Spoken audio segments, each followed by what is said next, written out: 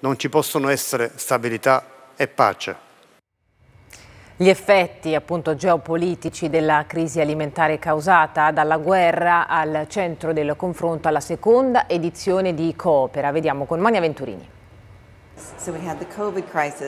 Prima il Covid, che è stato difficile per tutti i bambini, ma per quelli che vivono in certi paesi molto di più. La crisi climatica, che porta a una siccità devastante. E poi, ovviamente, la guerra in Ucraina. Una serie di crisi a cascata stanno facendo precipitare la situazione per tanti minori, sempre i soggetti più vulnerabili. La direttrice generale dell'UNICEF, Catherine Russell, a Roma, la seconda conferenza della cooperazione nazionale allo sviluppo, presenta nuovi dati inquietanti. Oggi 8 milioni di bambini sotto i 5 anni nel mondo rischiano di morire di fame. Uno al minuto viene colpito da malnutrizione acuta.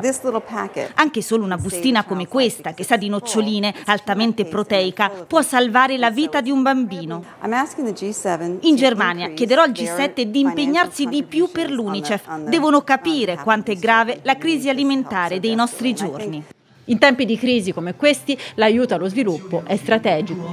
Il mondo è attraversato da troppi conflitti, da troppe diseguaglianze, da troppi squilibri e la cooperazione serve per ridurre queste diseguaglianze e per mitigare queste tensioni. Se vogliamo costruire la pace dobbiamo costruire sviluppo. In fondo la cooperazione è anche un buon affare, vista da un certo punto di vista. La cooperazione è un buon affare perché così siamo tutti più sicuri. La politica ora con Luigi Di Maio che ha riunito per la prima volta i nuovi gruppi parlamentari nati dalla scissione coi 5 Stelle. Francesco Maisano.